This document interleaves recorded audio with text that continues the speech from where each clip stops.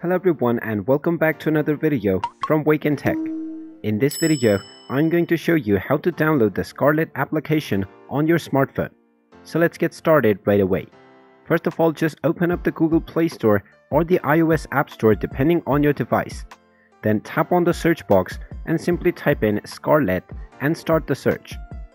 Now, once you find the Scarlet application, you will simply need to tap on the install button and when you do this, this will begin the download and installation of the Scarlet application on your device.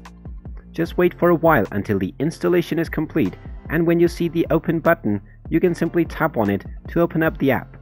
And now you are ready to use the Scarlet application after you log in or sign up to your account. And there you have it. That is how easy it is to download the Scarlet application on your smartphone. If you find this video helpful, make sure you hit that like button and subscribe to our channel if you haven't done so already. Also ring that notification bell to never miss another update from us. Thank you for watching and I will see you again in the next video.